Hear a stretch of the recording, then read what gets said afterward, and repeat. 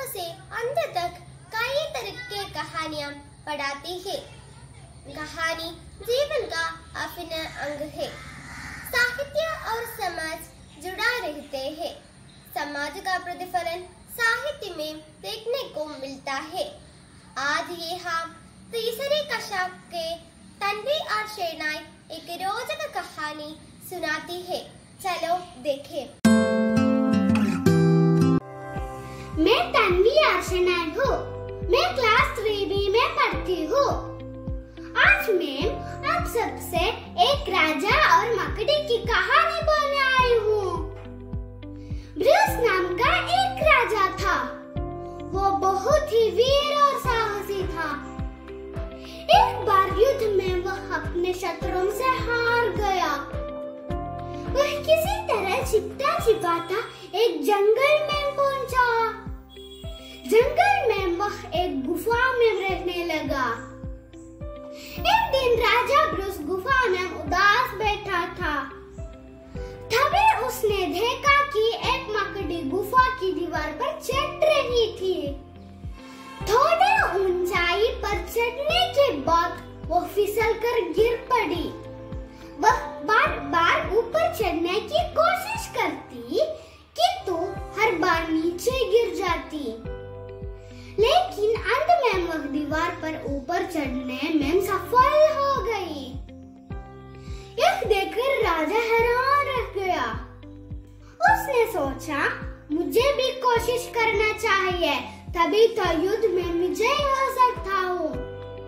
उसने दोबारा सेना तैयार की और युद्ध किया। इस बार युद्ध में राजा ब्रूस के विजय मिली। इस कहानी से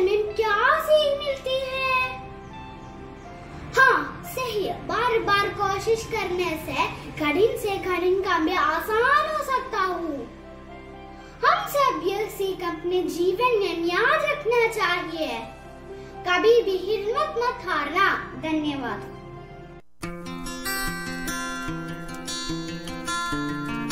ഗ്രാമജീവിതത്തിന്റെ നന്മ വഴികളിലൂടെ ജീവിത യാഥാർത്ഥ്യങ്ങൾ ചിത്രീകരിച്ച പ്രശസ്തനായ മലയാളി കവിയാണ് വൈലോപ്പള്ളി സീതാരാമേനോൻ ഗ്രാമീണ ജീവിതത്തെ ഇത്രയും മനോഹരമായി മലയാളിക്ക് പരിചയപ്പെടുത്തിയ മറ്റൊരു കവി ഇല്ലെന്ന് പറയാം.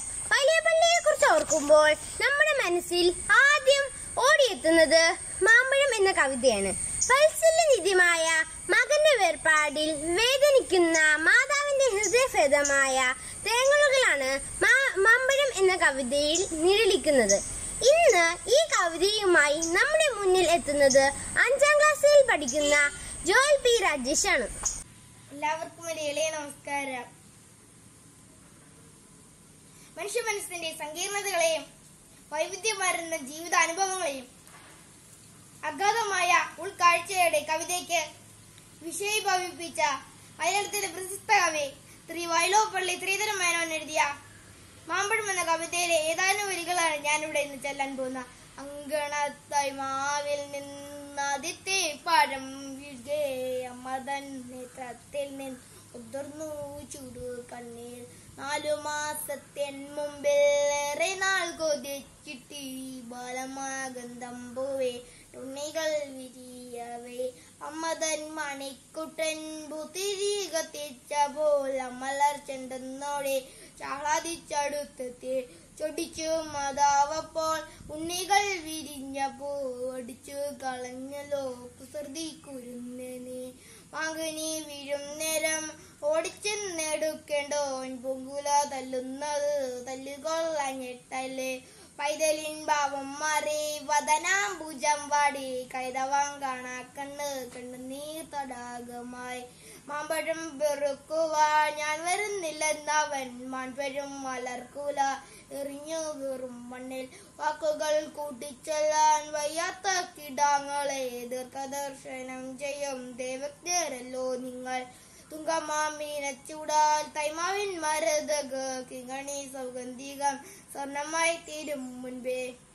മങ്കിനി വിടാൻ കത്ത് നിൽക്കാതെ മാതാവിന്റെ പൂങ്കോയിൽ വെട്ട് പരലോകത്തെ പോകി. നന്ദി നമസ്കാരം.